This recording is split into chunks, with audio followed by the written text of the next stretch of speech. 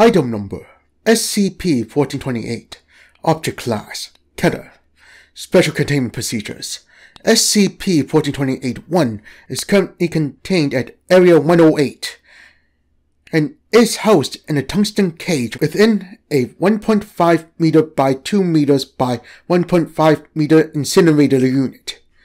The walls of the unit are constructed in three layers. The innermost layer is composed of fireproof concrete at a thickness of 30 centimeters. The intermediary layer is composed of lead at a thickness of 15 centimeters, and the outermost layer is composed of concrete at a thickness of 10 centimeters.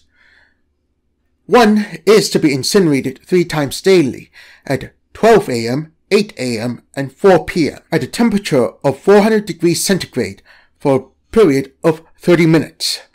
Under no circumstances are any personnel to enter the containment chamber or make direct physical contact with 1.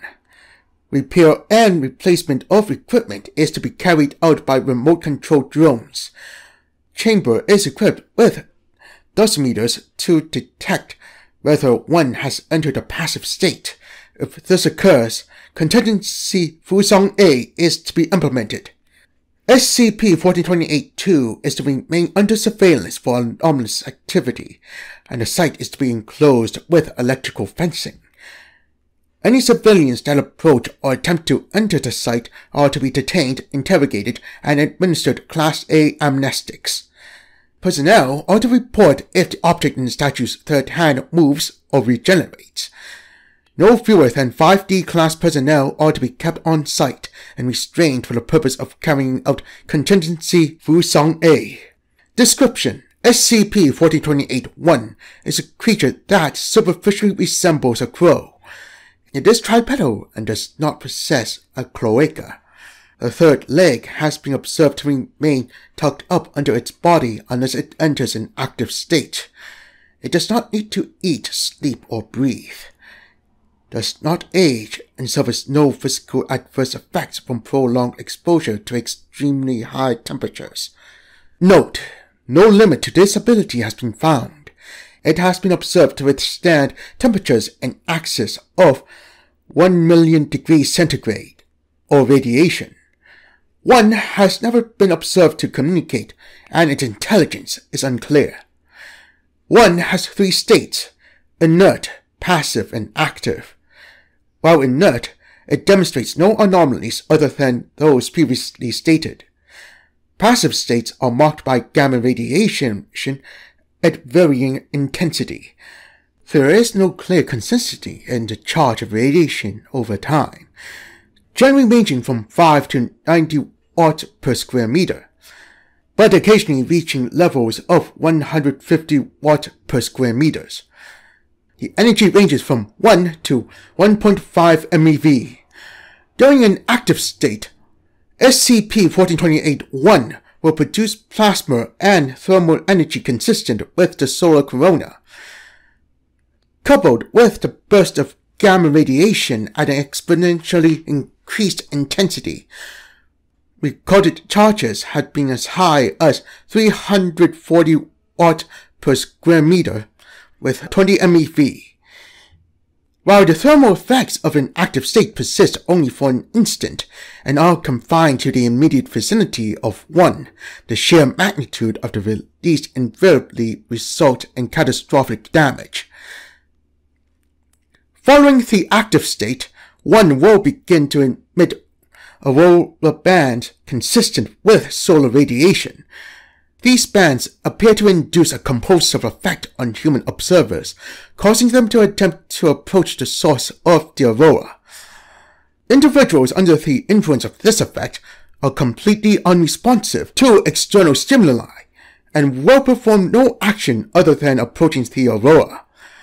The bands persist for approximately one full day after the active state has ended, while one is in a passive state, it will enter active state once every three months, unless exposed to external combustion at an intensity of approximately 400 degrees centigrade or greater, which will cause it to become inert. While physical contact with one is possible. Any attempt to physically harm it, other than incineration, will result in an active state. SCP-4028-2 is a temple or shrine located in the Beep province of China, approximately Beep kilometers north-northwest of the site where SCP-4028-1 was discovered. The site was constructed in approximately Beep BCE and contains religious texts and iconography inconsistent with the region. The most significant of these inconsistencies are a ritualistic form of human immolation and the presence of an entity known as Redacted. This entity is a three-armed humanoid and is featured in numerous designs throughout the site. The majority of these designs depict what appears to be one perched on the entity's shoulder. A 0.5 meters by 1.5 meters by 0.5 meters jade statue of Redacted is located at the approximate center of the site and the entity holds an object in each of its hands, the earth, the sun, and a partially burnt note. Upon discovery, roughly 78% of its flesh was burnt. The current percentage is closer to 69%. Data expunged. This is genuine instead of being constructed of jade and shows no signs of decomposition despite being at least redacted years old. Additionally, while biologically dead, it generates a temperature of 30 degrees centigrade and has been observed to make subtle movements. It will occasionally fixate upon individuals that enter its range of sight and opens its mouth as though trying to speak.